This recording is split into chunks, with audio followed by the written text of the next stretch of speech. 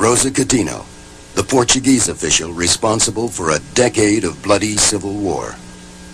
I must say that in Angola, I started what we could call the decolonization process. Because this started only when I arrived, arrived there. And, uh, well, I had this kind of job just during six months. But I think that I fixed the decolonization process in an irreversible way. Appointed High Commissioner of the Portuguese colony in 1975, Admiral Rosa Coutinho was the most powerful man in Angola.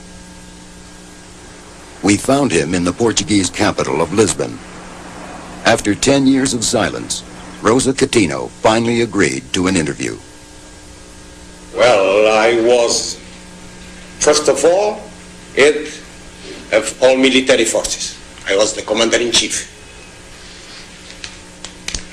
Second, I was the executive, the, the, head of the administrative branch.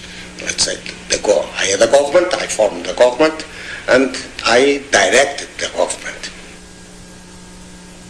Certainly, certainly I, I have the influence and I exerted it.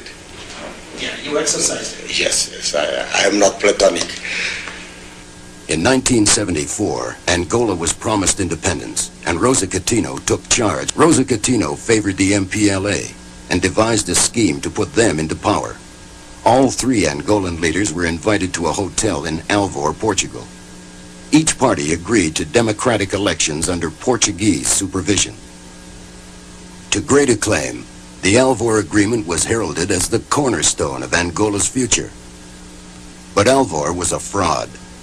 Elections were never meant to take place. I knew very well that elections could not be held on the territory during the time that lapsed because Angola was still in a kind of turmoil. And if elections would be held, it will be a fantasy.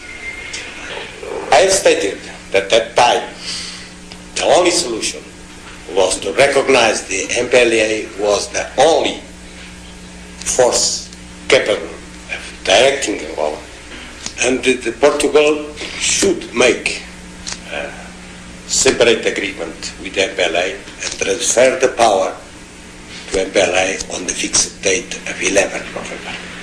Spend most of my time in Havana, uh, having talks with, uh, with uh, the people on the ministers. I was interested especially on education and justice.